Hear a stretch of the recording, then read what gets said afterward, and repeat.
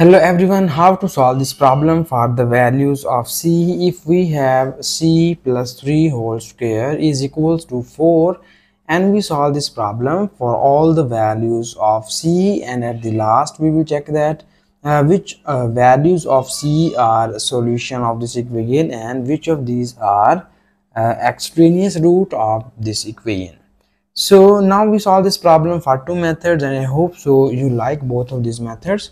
but if you have any other method in your mind so please don't hesitate to write this method into the comment section.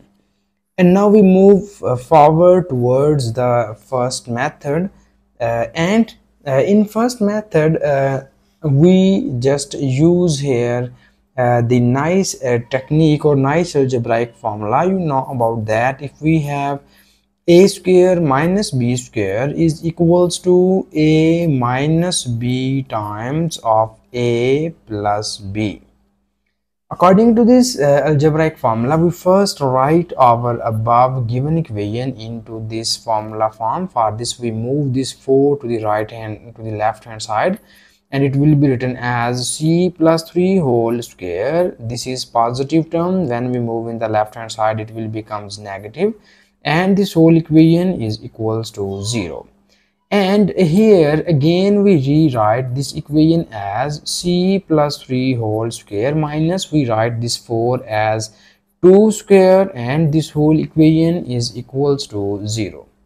and here we are ready to apply this nice formula. You see here the base of this term is our a and the base of this term is our b so here we put these two values of a and b into the right hand side of the above formula. So uh, according to the above formula, these will be written as uh, here first factor is a minus b here our a is c plus 3 minus b is 2 into the second factor is a plus b so again our a is c plus 3 and plus b is 2 and this whole equation is equals to 0 and further here we need more simplifications and it will be written as in this form. Uh, here we get this is c and 3 minus 2 becomes 1 into from here we get c plus this is 3 plus 2 becomes 5 and this whole equation is equals to 0 and now we divide this equation into the two cases. The first case is we write c plus 1 is equals to 0 and the second case is we write c plus 5 is equals to 0 so here from first case we easily get the value of c is equals to minus 1 and from second case we easily get the value of c is equals to minus 5 so here we get the uh, we get these two roots of the given equation. Uh, and uh, now here we first again solve this problem for second method. And at the last we will check that uh, which of these two roots are a solution and which roots are extraneous root. And also at the end I can just explain the term extraneous root. So uh, here uh, in second method we just uh, first copy down given question statement here. It is c plus 3 whole square equals to 4 and in second method um, we just use here uh, the square root technique. And, and here we just apply the square root sign on both of the sides and it will be written as c plus 3 whole square. And its whole square root is equals to square root of 4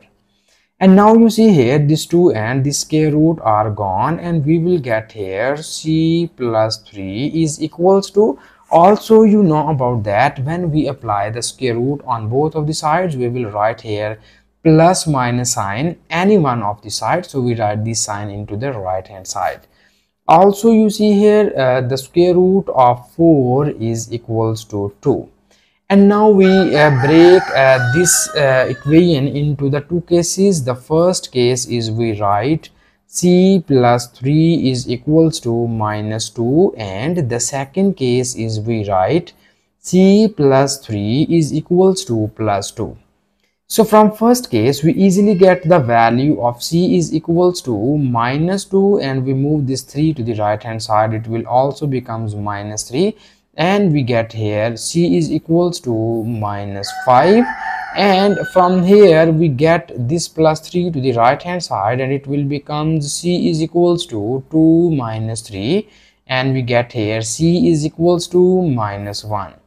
so from both of these cases you see here we will get uh, the same values of c. And now we check uh, we, uh, each of these values are solution or not uh, so that for verification of the roots we need to copy down given question statement here. It is c plus 3 whole square equals to 4 and now first we will verify c is equals to minus 5 so uh, for verifications of uh, this root uh, we put these values into the left hand side and it will be written as minus 5 plus 3 whole square is equals to 4 and now you see here minus 5 plus 3 is equals to minus 2 whole square is equals to 4 and minus 2 square becomes 4 is equals to 4 so you see here both of the sides are equal. This means that the value of c is equals to minus 5 is satisfied over this given question statement. And now here we move towards the second uh, uh, value of c and the second value of c is equals to minus 1 uh, so uh, now here we will just put uh, c is equals to minus 1 into the left hand side of this question statement. So it will be written as minus 1 plus 3 whole square is equals to 4 so here uh, uh, in order to verification of this value we get minus 1 plus 3 becomes 2 square is equals to 4 and we easily get 4 is equals to 4 so this means that the second value of C is also satisfied our given question statement.